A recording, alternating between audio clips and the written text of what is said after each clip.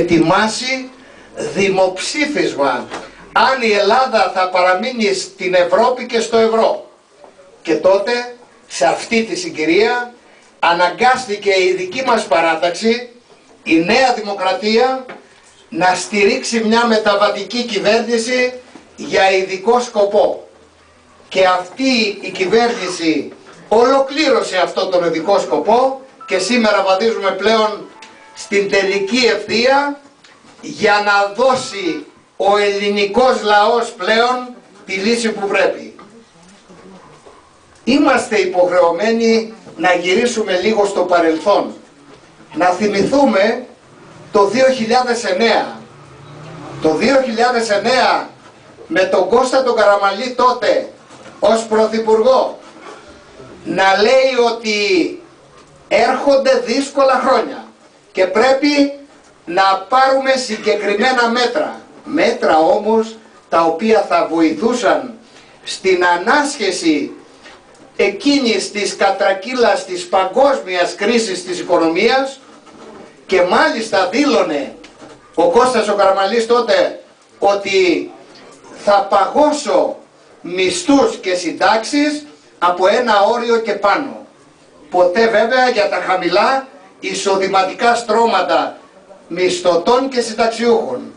Και από την άλλη μεριά η ανευθυνότητα του Πασόκ, το οποίο Πασόκ όπως στη δεκαετία του 80 το κήρυγμά του και το μήνυμά του ήταν όλοι στο δημόσιο, ερήμωσε η ύπεθρος, σταμάτησαν να καλλιεργούνται τα χωράφια, ε, κάθε είδος κτηνοτροφίας και παραγωγής στη χώρα διεκόπη και έγινε αυτό το κράτος το οποίο ήταν αντιπαραγωγικό, αντιαναπτυξιακό και δημιουργούσε διαρκώς ελλείμματα. Τη δεκαετία του 90 ότι όλοι μπορείτε να γίνετε πλούσιοι. Αυτό ήταν το σύνθημα του Πασόκ. Με το περιβόητο χρηματιστήριο. Με συνέπεια χιλιάδες, εκατομμύρια συμπολίτες μας να χάσουν τις όποιες μικρές ή μεγαλύτερες αποταμιεύσεις τους. Και η δεκαετία του 2000 δεν ήταν άλλη παρά δανειστείτε. Αυτό έλεγε το Πασόκ. Θα θυμάστε. Εορτοδάνεια, ε, δάνεια για διακοπές, δάνεια για τόνα, διαφημίσεις για κάρτες, με συνέπεια έξω από την καταχρέωση του κράτους να καταχρεωθούν και οι πολίτες. Αυτή ήταν η πορεία του Πασόκ. Αυτά είναι τα τρία επιτεύγματα.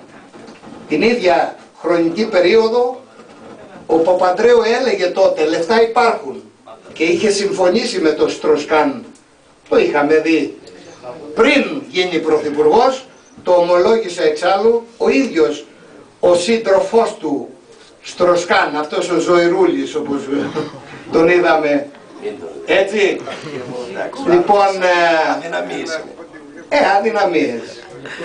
Και έγιναν οι εκλογές, κέρδισε ο κύριος Παπαντρέου με αυτό το σύνθημα και αντί από την πρώτη στιγμή να πάρει μέτρα, τι επακολούθησε.